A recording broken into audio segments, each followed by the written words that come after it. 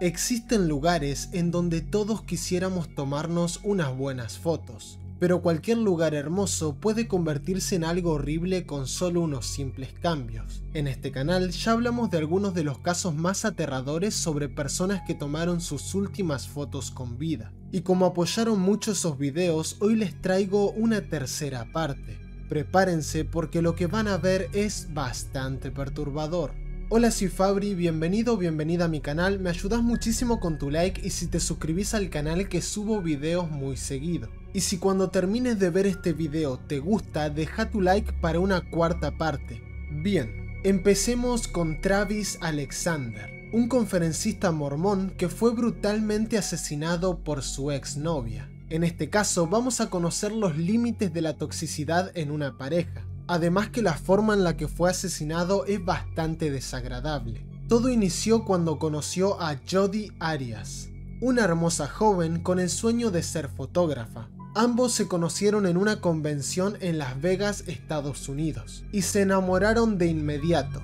Aunque él vivía en Mesa, Arizona, y ella en Palm Desert, California, la distancia no les impidió continuar con su relación. Hay unas 4 horas de distancia más o menos entre esos lugares si viajas en auto, más o menos para que tengan una idea. Travis hablaba maravillas de su novia con sus amigos, y decía que finalmente había encontrado a la mujer con la que quería pasar el resto de su vida. Pero no todo fue felicidad. Poco después, los amigos de Travis empezaron a conocer mejor a la joven fotógrafa y notaron detalles alarmantes. Las llamadas red flag, salí de ahí maestro, no es por ahí compa, etcétera, etcétera. Ella era extremadamente posesiva con él. Le revisaba el celular, las redes sociales y correos electrónicos. Y además se quedaba atrás de las puertas escuchando sus conversaciones privadas. Después de 5 meses de una relación bastante tóxica, Alexander decidió terminar con Jodie. Pero la chica decidió mudarse a Mesa donde vivía Alexander. Esto preocupó a sus amigos, como que veían que algo no andaba bien.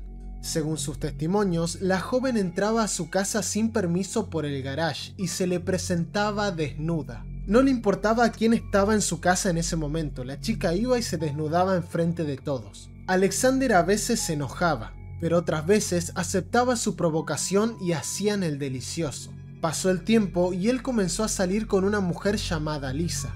En ese tiempo, las ruedas de su auto aparecieron pinchadas, por lo que empezó a preocuparse de la actitud de su exnovia. Parecía que se había obsesionado con él. Bueno, en realidad no parecía, sí se había obsesionado. En abril del 2008, luego de vivir en Mesa por 8 meses, Jody Arias regresó a California. Según sus amigos, Travis se emocionó mucho al enterarse que su ex ya no estaría más cerca de él. Le dio una sensación de alivio. A pesar de esto, los dos seguían en contacto, tenían intimidad por teléfono. O sea que las red flags, todas estas red flags que vimos de que le pinchó... ¡Puta madre! Pasó el tiempo y Alexander estaba saliendo con una chica llamada Mimi. A principios de junio de 2008, Alexander planeó asistir a una convención en Cancún, México, con Mimi, su nueva pareja. Además, ahí también iban a estar presentes sus amigos. Y acá empieza lo turbio.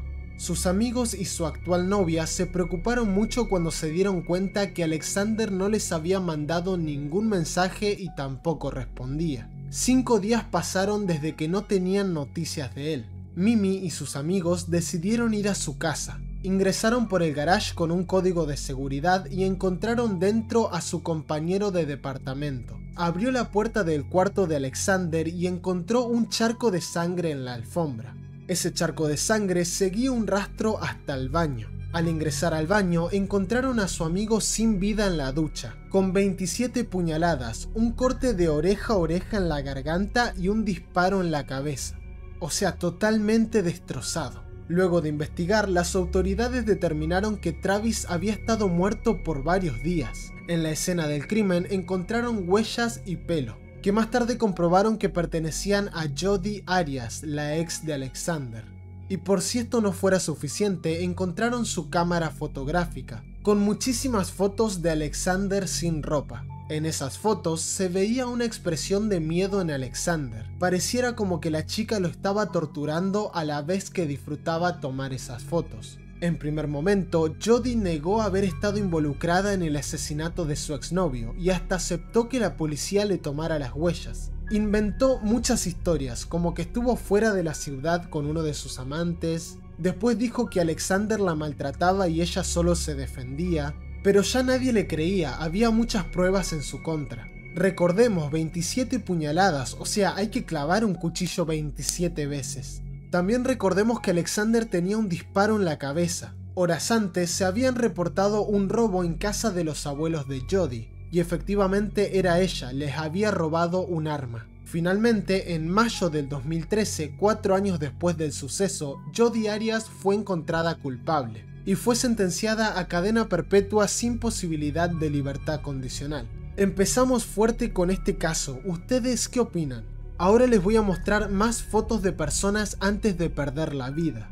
Los que siguen son casos cortos pero interesantes. Quise dejar el caso con más información al principio. Ok, Andriy Retrovsky. A este chico le encantaba la adrenalina. Treparse a edificios muy altos y tomarse la mejor foto posible era su pasión. Está de más decir que esto es muy peligroso y que nadie tendría que haberlo hecho. En fin, en esta ocasión el chico estaba bastante preparado. Había conseguido varias sogas de seguridad para sacarse una de las selfies más perfectas que su mente pudo imaginar. Andri esperó a que oscureciera y junto con su amigo se subió a lo alto de un edificio de 9 pisos. Cuando llegaron a ese punto se colocó las sogas de seguridad y se puso por la parte de fuera del edificio pero cuando se soltó y dejó caer todo su peso en las sogas, estas se soltaron, haciendo que Andri caiga desde el piso 9. Cayó encima de unos arbustos que hicieron efecto de colchón. Entonces no murió en ese instante, pero dos horas después su cuerpo ya no aguantaba el impacto que había sufrido,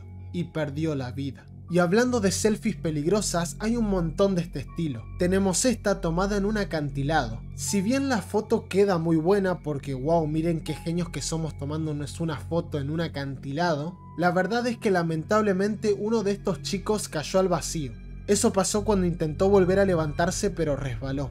Bueno gente, hasta acá el video de hoy, si les gustó me ayudan muchísimo con su like. Voy a poner una meta de 10.000 likes para más videos de personas que tomaron sus últimas fotos. Porque como les digo, hay muchísimos casos, puedo hacer un video con muchos de estos mini casos. Y nada gente, me ayuda mucho también si se suscriban y activan la campanita del canal para que YouTube les avise cuando subo un video nuevo. Nada gente, los quiero mucho, se vienen videos muy interesantes porque en esta semana me voy de viaje a Córdoba y voy a grabar algunos videos en las montañas. No le voy a hacer spoiler, pero les voy a dejar este logo por acá para que se vayan dando una idea de lo que puedo grabar ahí. Nos vemos en la próxima. Chau chau.